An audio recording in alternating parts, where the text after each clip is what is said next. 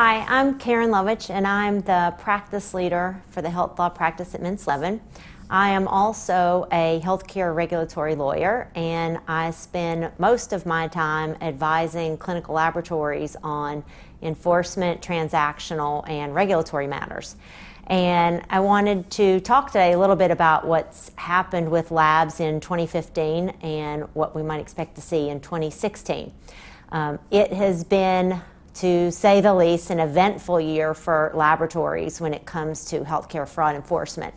Um, there have been a number of uh, federal settlements and cases brought against laboratories.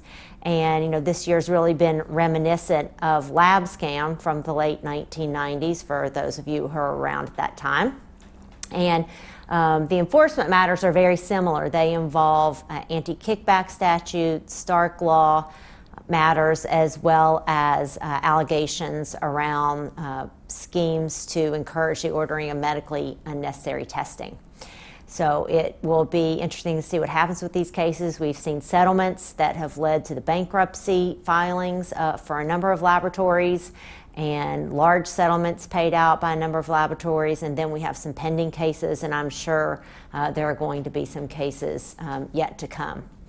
Um, another thing I would mention uh, that's happening in the laboratory industry right now is the uh, repricing of the Medicare clinical laboratory fee schedule. Um, there has been a fair amount of controversy around that initiative of CMS, and they, uh, the comments have gone in on the proposed rule and the final rule is going to be coming in 2016 and by all accounts it's possible that some smaller labs uh, are really going to suffer as a result of this repricing. And we may even see a number of laboratories close while larger laboratories um, may um, prosper as a result of this change so I think um, there are many other things happening in the lab industry. Those are just two that I would mention. And 2016 um, is sure to be an eventful year as well.